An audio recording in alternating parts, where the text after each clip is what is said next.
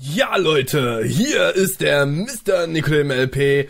Falls ihr mich nicht kennt und durch dieses Video tatsächlich auf mich aufmerksam geworden seid, naja, ist ja auch scheißegal. Eigentlich wollte ich hier nur mal eben Bescheid sagen. Und zwar geht es um eine Petition gegen die GEMA. Und das von einer extrem seriösen Seite, und zwar dem Deutschen Bundestag. Also, wer glaubt, das ist irgendein Fake oder irgendeine bescheuerte kleine Futzelseite, die meint, äh, wir müssen jetzt gegen die GEMA vordringen, immerhin ist der wichtig. Ähm, nein, hier geht es wirklich um die Politik, also dementsprechend, da ist der Staat dran beteiligt. Und zwar hundertprozentig. Also, wenn ihr dort unterschreibt, dann unterschreibt ihr nicht bei irgendeinem Futzke, der dann ein Exempel statuiert am Bundestag oder sonst wo, sondern das ist der Bundestag.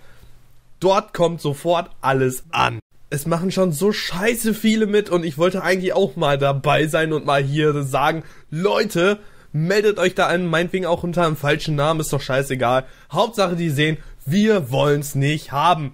Und damit verabschiede ich mich auch schon wieder für heute. Tut mir leid, dass heute kein Happy Wheels kam.